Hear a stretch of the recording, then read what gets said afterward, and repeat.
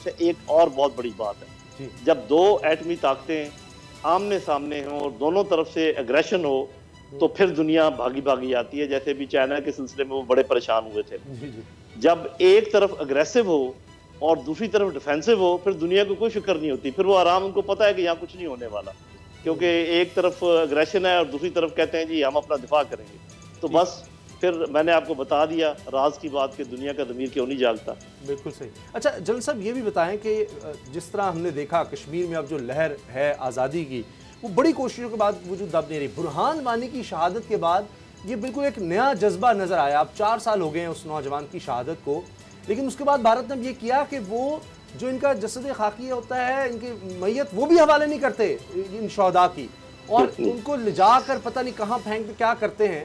تو یہ برہان وانی کا فنومنا کیا یہ اس کو دبا سکتے ہیں اس طرح سے بھارتی فوج یہ کر سکتی ہے کیونکہ جہاں فوج کا سامنا ہوتا ہے اب چاہے پاکستانی فوج ہو چاہے چائنیز فوج ہو وہاں تو بالکل اور ان کا رنگ ہوتا ہے۔ لیکن مظلوموں پر جی۔ وہاں پر یہ بڑے بہادر نظر آتے ہیں جیسے۔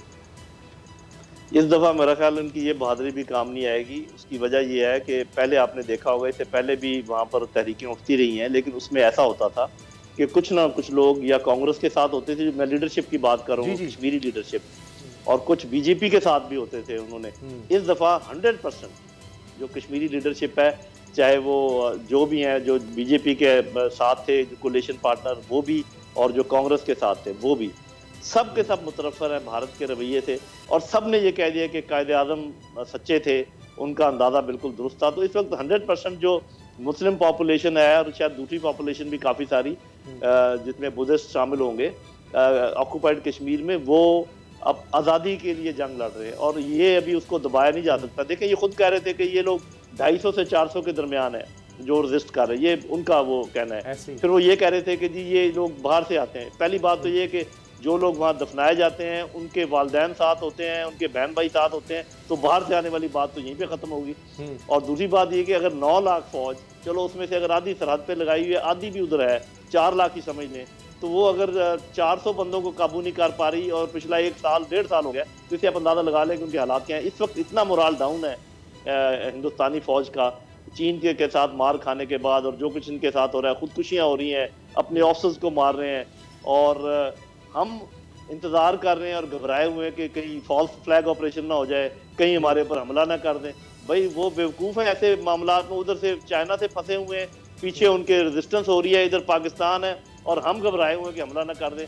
اچھا لیکن جنرل صاحب معاملہ تو یہ ہے کہ وہ وزیر اعظم صاحب نے جس طرح کہا نا گھبرانا نہیں ہے۔ معاملہ یہ ہے کہ جس طریقے سے چائنا نے ان کو درگت بنائی اس کے بعد بھوٹان جیسا ملک ہے اس نے دریا کا پانی اسام سے پہلے جو آتا ہے دریا وہ روک لیا ہے سری لنکا جو اس کو آنکھیں دکھا رہا ہے۔ نیپال۔ تو نیپال کی بات ہو رہی ہے۔ پھر اس کے بعد پاکستان بھی ایک ایٹمی ملک ہے۔ ہم بڑی بڑھ کے لگاتے ہیں کہ شمیری جو لوگ ہیں وہ لاک ڈاؤن ہے اسی لاکھ کی آبادی ہے۔